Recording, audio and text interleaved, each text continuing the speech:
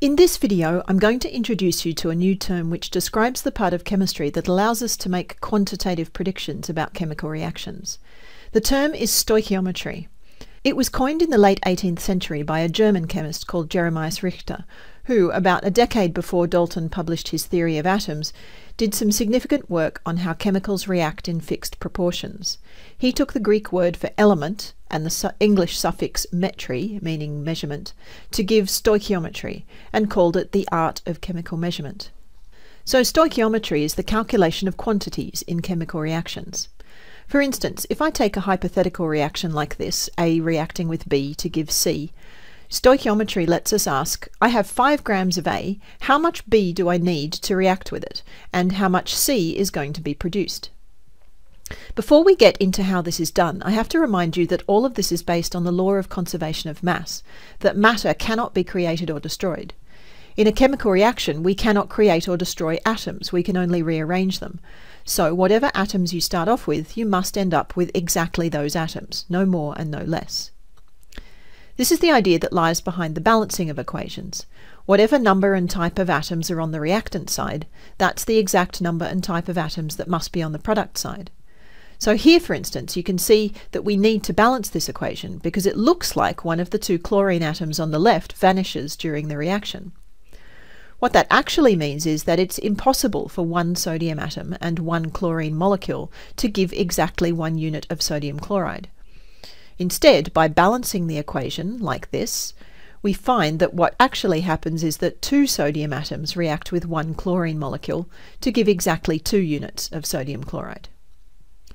Now, in its simplest form, this equation means exactly what I just said. Two sodium atoms react with one diatomic chlorine molecule to give two units of sodium chloride.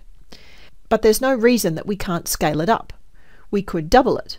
Four sodiums would react with two chlorine molecules to give four units of sodium chloride. Or 100 atoms of sodium could react with 50 chlorine molecules to give 100 units of NaCl. Or to go to real life quantities, 2 moles of sodium atoms could react with 1 mole of chlorine molecules to give 2 moles of sodium chloride. The big numbers in the balanced equations are called stoichiometric coefficients, like the coefficients in algebra. And they have the same function. They tell you how many you have of the thing that follows. More specifically, the stoichiometric coefficients tell us in what ratio these chemicals react and are produced. But, and this is important, the ratio relates to numbers of atoms or molecules, or to moles of atoms or molecules, if we go large scale. It does not relate to mass. Let me illustrate. Let's assume that we have 2 moles of sodium and 1 mole of chlorine gas and we react them together and they produce 2 moles of sodium chloride. How much would each of those quantities weigh? Well, if we check the periodic table, you'll see that sodium has a molar mass of 23 grams per mole, so 2 moles of that would weigh 46 grams. Atomic chlorine has a molar mass of 35 grams per mole, but chlorine is diatomic, so the molar mass of chlorine gas is 70 grams per mole and if we have one mole of that, it'll weigh 70 grams.